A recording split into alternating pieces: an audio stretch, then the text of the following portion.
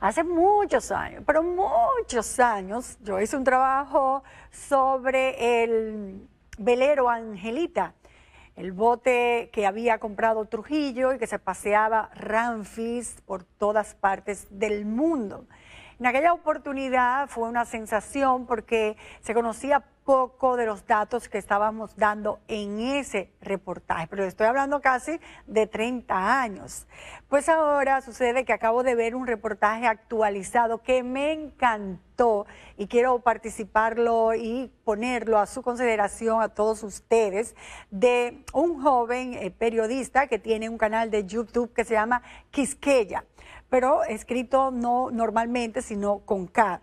Entonces hablamos con Alex Corday para que nos permitiera pasar este reportaje del bote Angelita y toda la historia que hay detrás de él. Y como es algo histórico y que nos llega mucho, porque todo lo que sea Trujillo nos llega mucho, vamos entonces a pasar este reportaje hecho por Quisqueya por el joven Alex Corday.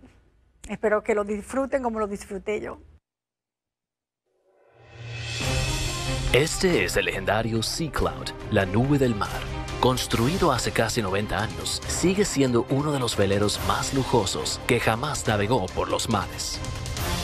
Y fue el palacio flotante del dictador Trujillo.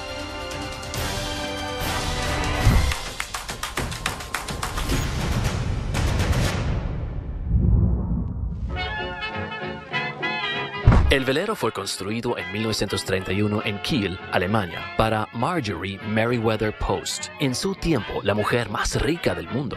Marjorie heredó alrededor de 500 millones de dólares de su padre cuando tenía solamente 27 años de edad y usó ese dinero para crear una de las compañías más grandes del mundo de comida prehecha, popularizando cosas como cereales, jugos en polvo y comida congelada. Y tan rápido como ella ganó el dinero, también lo gastó. Fue muy generosa, tanto con sí misma como en la filantropía. Al casarse con el magnate de Wall Street, Edward Hutton, quien tenía una pasión por la navegación, Marjorie comisionó la construcción del velero según sus exactas instrucciones y lo llamaron el Hussar 5. La construcción costó alrededor de 44 millones de dólares. Llegó a ser el yate privado más grande del mundo, un palacio flotante que dejó plasmado a todos que lo abordaron. La opulencia fue de un nivel tan alto que cuando la reina de Noruega vino de visita al barco, le dijo a Marjorie, Oh, pero tú sí que vives como una reina.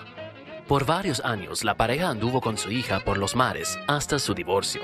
Luego, Marjorie se casó con Joseph Davis, el embajador estadounidense a la Unión Soviética. Le cambiaron el nombre a la nave a Sea Cloud y Davis la usó como una extensión flotante de la embajada. Decenas de reuniones y recepciones políticas fueron recibidas aquí entre los Estados Unidos y la Unión Soviética, y desde políticos hasta la realeza de Europa se quedaron a bordo. Entre ellos un amigo personal de Davis, el generalísimo Rafael Leonidas Trujillo, presidente de la República Dominicana, quien llegó a ser uno de los huéspedes más frecuentes y aparentemente se enamoró del yate. En 1941, Marjorie alquiló el velero a la Guardia Costera de los Estados Unidos por un dólar al mes. Eso fue un acto simbólico en apoyo del esfuerzo de la Segunda Guerra Mundial. La Sea Cloud fue transformado en una nave de observación del clima, apoyando exitosamente el esfuerzo bélico en Groenlandia por medio de reportar posiciones de naves enemigas y rescatando marineros. Fue entonces que, bajo el mando del teniente Carlton Skinner, que el Sea Cloud hizo más historia. A Skinner le molestó que existía segregación racial a bordo de las naves estadounidenses, es decir, que marineros de piel oscura no tenían el derecho de ser promovidos. Skinner propuso un experimento a bordo del Sea Cloud, equipar la nave con marineros blancos y negros con derechos iguales, a ver si funcionaba. Y el experimento no solamente funcionó, sino fue un gran éxito, viendo que personas de diferentes colores de piel sí pueden trabajar juntos a bordo del Sea Cloud y más luego en otras naves también, cambió todo. En 1948, el presidente Truman firmó la Orden Ejecutiva 9981, la cual le dio fin a la segregación en las Fuerzas Armadas estadounidenses.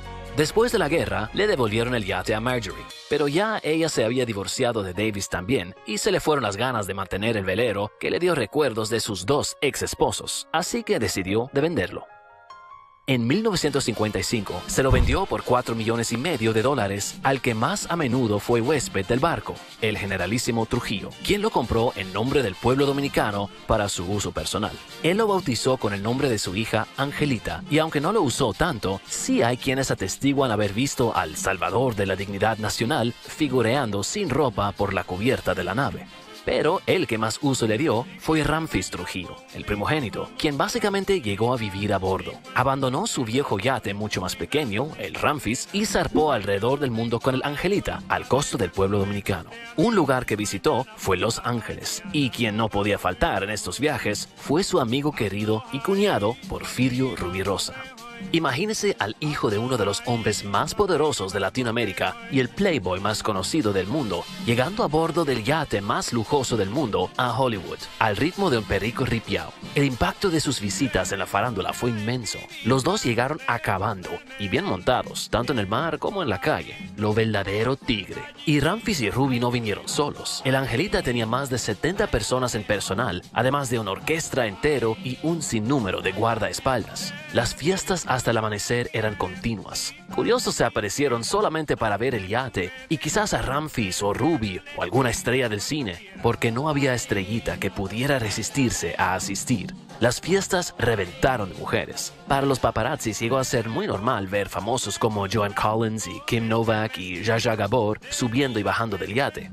Fue con este yate que Ramfis y Ruby conquistaron Hollywood, por decirlo así. Porque cualquiera que se aparece con un yate así, claro que las mujeres se le tiran arriba. Una de las estrellas más grandes de Hollywood en este tiempo fue la actriz Jaja Gabor y fue Ruby Rosa quien se la consiguió. Hasta pintaron con orgullo las palabras Aquí durmió Jaja en el casco de la Angelita por si acaso que alguien había tenido dudas del éxito de Ruby. Fue también aquí en Hollywood y a bordo de la Angelita que Ramfis conoció y enamoró a su futura esposa, la actriz Lita Milan. Juntos la pareja y sus amigos siguieron zarpando por los mares hasta que en el 1961 Trujillo fue asesinado. In Ciudad Trujillo, there are frenzied demonstrations as the people of the Dominican Republic pour into the streets to enjoy the rights of free men after three decades of Trujillo rule by force. Después de un rato, llegó el tiempo para la familia Trujillo de escaparse de la isla. Ramfis usó el Angelita para llevar el ataúd de su padre y numerosos cajones llenos de billetes sacados del Banco Central a las Islas Canarias. Pero a petición del gobierno dominicano, ahora bajo nueva administración, la Marina de Portugal interceptó el velero y la nave regresó a la República con su carga, ataúd, dinero y todo. El velero cayó bajo mando del nuevo gobierno dominicano, el cual le cambió el nombre a Patria y luego decidieron de venderlo en el 1966 por 15 millones de dólares. En los siguientes años cambió de nombre y de dueño varias veces hasta que finalmente el alemán Hartmut Paschburg lo adquirió en el 78. Él lo bautizó nuevamente como Sea Cloud y lo devolvió a su original propósito como crucero de lujo. En 1993 fue comprado por su actual dueño, el empresario Hermann Eble, y su compañía, Sea Cloud Cruises, y el barco llegó a ser la joya de la flota, un exclusivo velero de cinco estrellas y el más romántico y legendario velero del mundo. Con 316 pies y más de 3.000 toneladas, es uno de los veleros más grandes y lujosos y el más viejo todavía en operación. Y como está en constante mantenimiento, aún a sus 90 años de edad, está en perfectas condiciones. Con una capacidad de 64 pasajeros en 32 camarotes, la nave transcurre por el Mediterráneo en el verano y el Caribe en el invierno, y para en Santo Domingo por lo menos una vez al año. Quizás lo han visto en el puerto. Los cruceros son del más alto lujo posible, imitando los días de Marjorie Post, Ramfis Trujillo y Porfirio Rubirosa. De las decenas de millonarios alemanes que cada año aborda el crucero, pocos saben de su larga historia, su papel en cambiar la segregación en los Estados Unidos, el historial de las fiestas de Ramfis y las hazañas de Rubirosa. Y hasta muchos dominicanos desconocen el puesto de este bello y legendario barco en la historia dominicana.